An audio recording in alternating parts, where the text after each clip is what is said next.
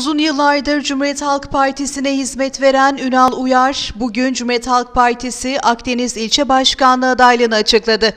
İlçe başkanlığı önünde partilere seslenen Uyar öncelikle 10 Aralık Dünya İnsan Hakları Günü ile ilgili konuştu. Bugün 10 Aralık Dünya İnsan Hakları Günü.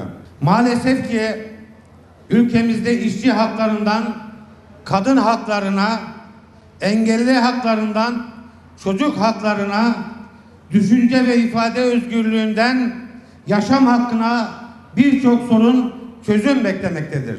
Hak ve özgürlükler insan hakları evrensel bildirgesiyle teminat altına alınmıştır.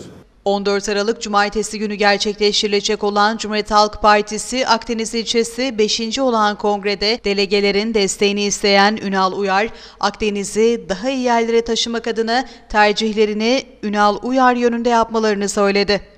Akdeniz ilçemizde daha güçlü bir hal alması, kuvvetli adımlarla ileri, ilerleyebilmesi, kucaklayıcı ve birleştirici bir yapıya kavuşması için ben ve yönetimi değil, biz yönetimi anlayışıyla Cumhuriyet Halk Partisi'nin Akdeniz'e daha ileriye aydınlık günlere taşımak adına ilçe başkanlığı adaylığımı sizlerin huzurunda açıklıyorum. Parti içerisinde ilişkilerimizi de onarmak zorundayız diyerek öz eleştiri yapan Uyar, tek bir partiliği kaybetmemek için çalışacaklarını sözlerine ekledi. Yapacağımız kongreden sonra var gücümüzde partimizin genel iktidarı için yerelde de Akdeniz'in gönderini Cumhuriyet Halk Partisi'nin bayrağını dikmek için çalışacağız, mücadele edeceğiz ve başaracağız arkadaşlar.